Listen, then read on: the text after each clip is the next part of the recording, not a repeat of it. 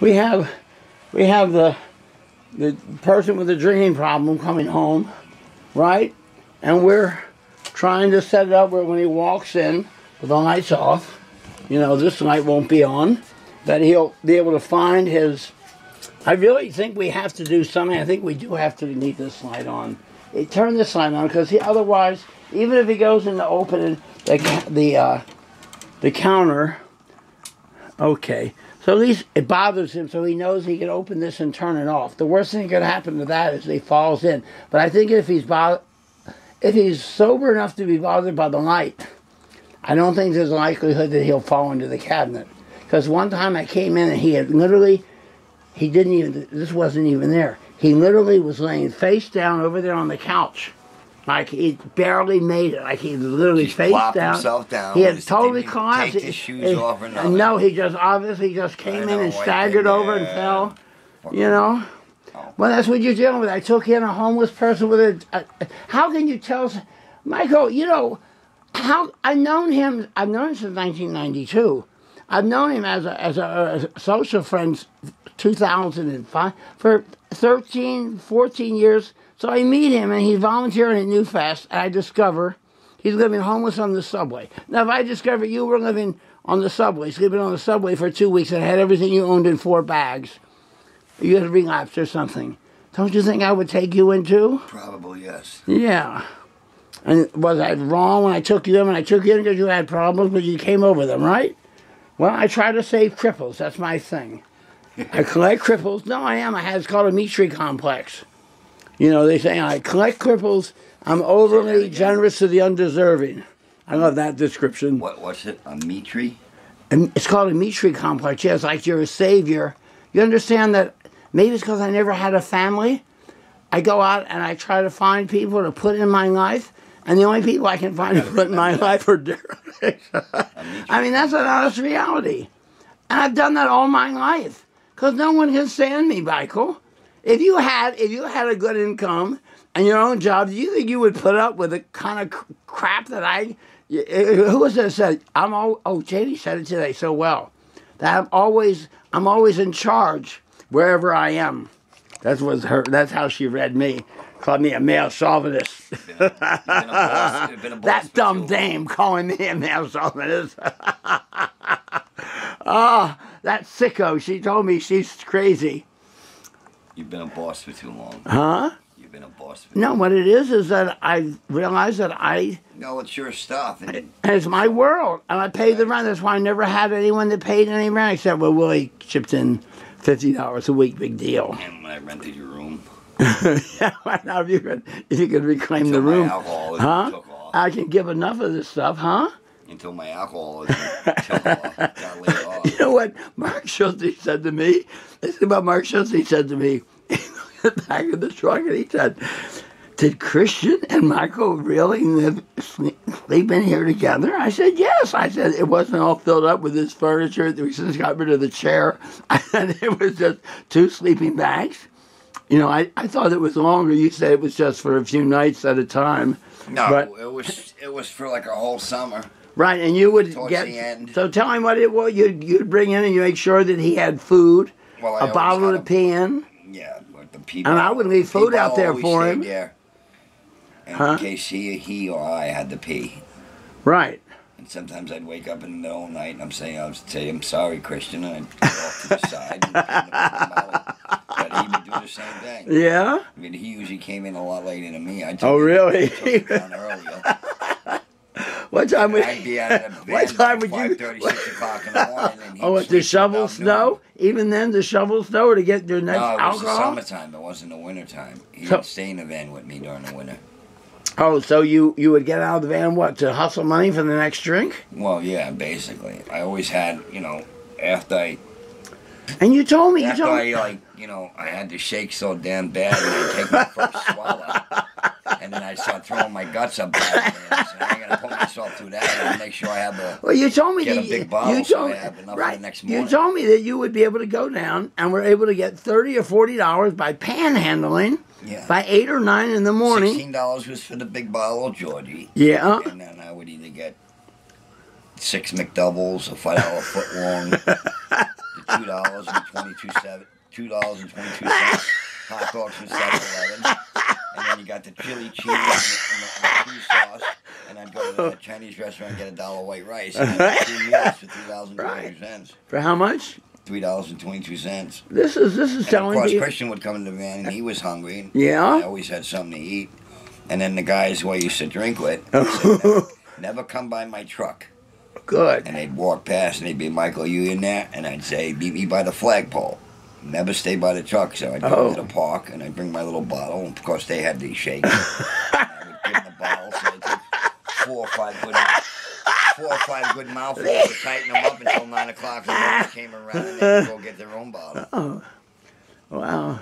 You were just such a good doer. You're clever. Wow. Meet me by the flagpole, Well, then, which was would, then I would have my That- big bottle, and they didn't get served in ninety percent of the stores in Hoboken. Right. You an alcoholic get served in, alcohol- in, in a liquor store? What are you even dumb? then you were different. So what I do is I Yeah. have the empties. Yeah. I take my big bottle and I fill Yeah. up the empties. So whenever they said, "Here, here's five dollars, go run, go run to Washington Street," oh, I'd take the five dollars and give them the bottle. so you I were so you were times, so I had to dealing. get panhandle was two more dollars to get my big bottle. Wow. You were, you were, see, this is what this is. You were in business for yourself. This is what I'm trying to push you to do again.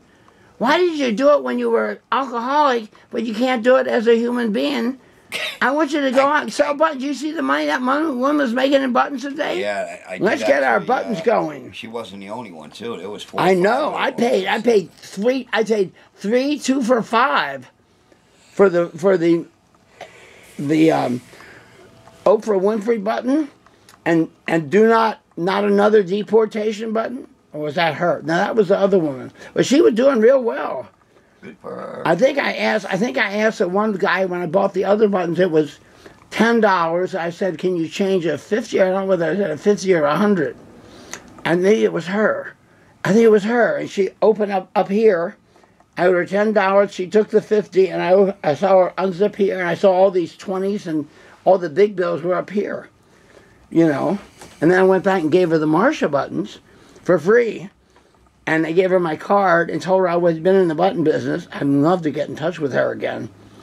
You know, she had interesting buttons. I'm hoping to God I can find her.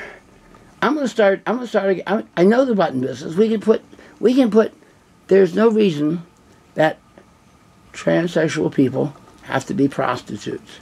They can go out on the streets selling anti-Trump buttons, women's rights buttons, transgender rights buttons. You can make a lot of They money can- they can go out- You don't last long. No, no. And most prostitutes. No, they don't want to be prostitutes. one- Most of them, they okay, do it because they have no. Most of them, saying is, mo- I don't know. trans prostitutes do not make tons of money. They are I starving didn't say trans prostitutes. I just said prostitutes. Yeah, I know the girls, the runaway girls. I feel sorry for drink them. drug and then Right, they get and then- old real quick. Right, that's right. Problem. But they get they come back to Ohio. What is the off truth? They go back to Ohio, and after finding out that they climbed in a cab with some dirty old man, they could make three, five hundred dollars, be taken out to a nightclub or whatever, to a fancy show, big restaurant, fancy hotel. They go back, say, home in Ohio, and they say, "Well, you can work down at McDonald's for six fifteen an hour." How long would that girl be working at McDonald's at six fifteen an hour, thinking about, "Oh man, six fifteen an hour"?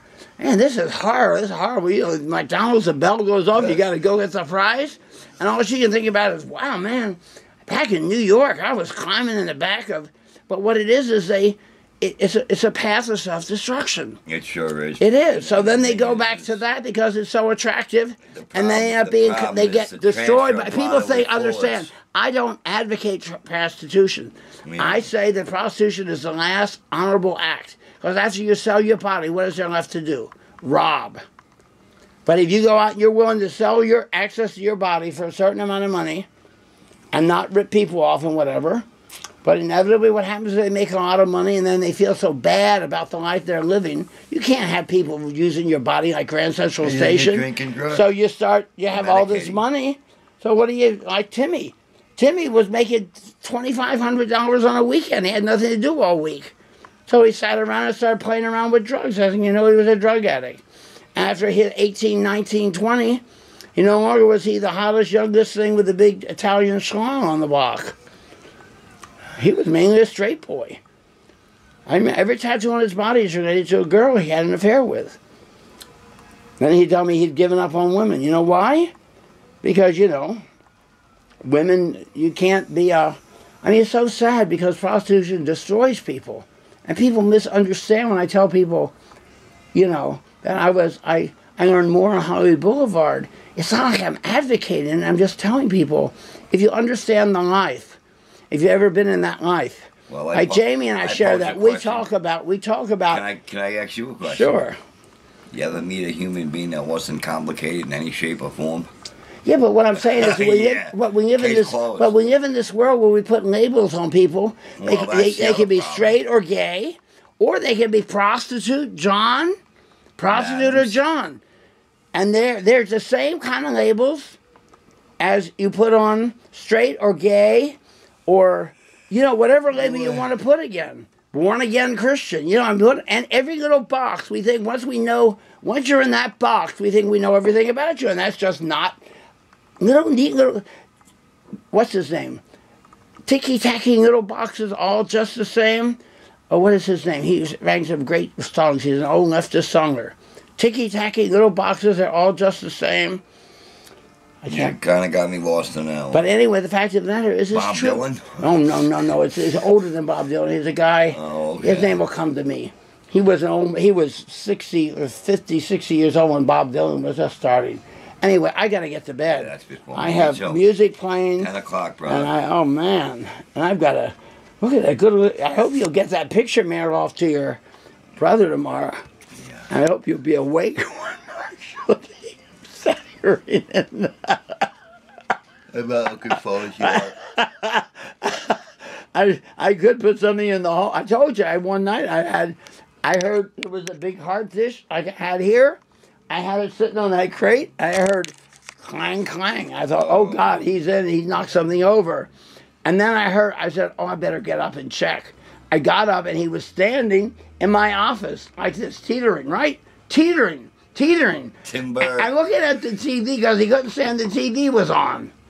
I said, get out of there right now. He's very docile as a drunk. He's just blurry eyed, right? He abode me. I said, get out of there right now. Get in there and get in bed.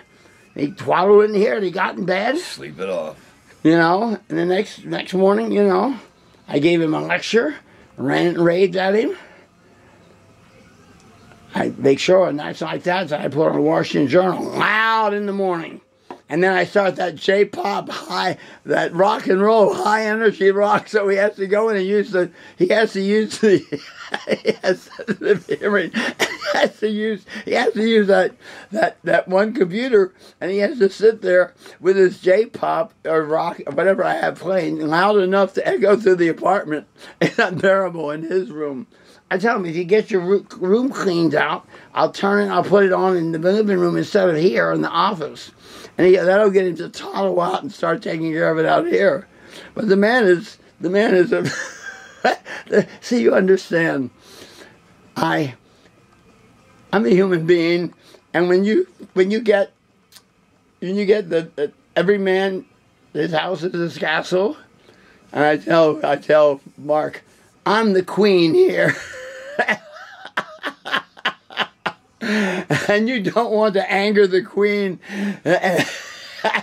now get your mess cleaned up in the living room, and I'll turn the music off in the office, and I can have it in the living room. We'll both be happier. And he'll get up and he'll do it. But you have to discipline him. It's all in training. Okay, my brother went on enough. So you're ready to take over now, right? Yeah.